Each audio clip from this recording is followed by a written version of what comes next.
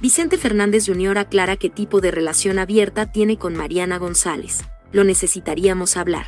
Fue en una entrevista que la periodista Ana María Alvarado le hizo al hijo mayor del charro de Huentitán, en donde reveló si es verdad o no que tiene una relación abierta con su escultural esposa. Ante esto, Vicente Fernández Jr. confesó que su relación sí es abierta, pero no precisamente en cuanto a que existan terceras personas, sino que en cuanto a la comunicación que hay entre los dos. Tenemos una comunicación abierta en extrema comunicación en que me ha dicho toda la totalidad de su vida, como yo le he dicho la mía. Comenzó a explicar Vicente Jr. Ante la posibilidad de que haya una tercera persona en la relación asegura que, de haber la inquietud de tener una relación poliamorosa, tienen la confianza de hablarlo y llegar a algún tipo de acuerdo, para que ambas partes estén felices.